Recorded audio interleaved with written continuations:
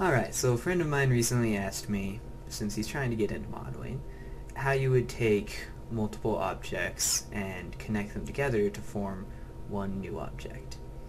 So what I've done in this scene is I've essentially just kind of I put a couple of spheres down, they got 10 segments each, and then I put a box down.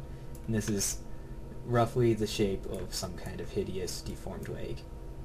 So the first step that you want to do is select one of them and then right click on it and go down to convert and convert to editable poly. Now the next step is you want to attach the other models to it. Press F4 to turn on your uh, edge view and then let's see this looks like a good place to connect it so let's delete the faces here. And then there's a couple of ways that we can go about this. Uh, one way is you can go into the border select mode and then select both of the borders and bridge it over. And that's not too bad. Because of the geometry it's a little weird, but you could just kind of fix that up, you know, uh, select these two vertices and then just pull them out and then it would look a little less hideous and deformed, but still quite hideous and deformed. Now that's not saying that the method is wrong, it's just that this is a poor example of when to use it. Another way you can do it is using target weld. You could also just use regular weld, but I'll go into that in just a moment. You click on one of the vertices that you want to move to the other one, and then you click on the other vertice and it moves it over and connects them.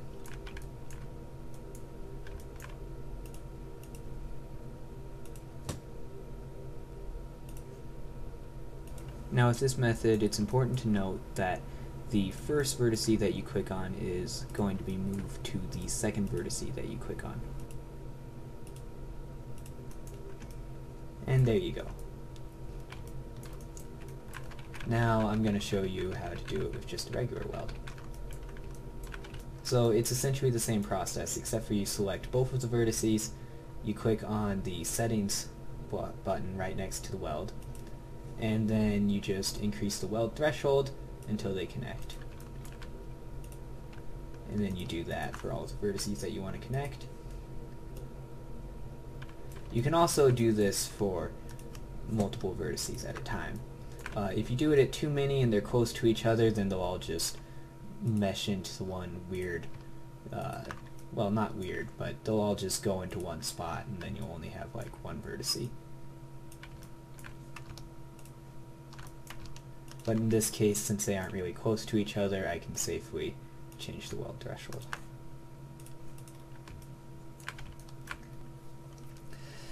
And there you go. There's three different techniques for connecting two different objects. And if you wanted to attach this stupid little foot down here, then it would just be the same thing. Except for in this case, you'd want to add another line through there that way you would have enough polygons to connect it all. And that way the topology would work together.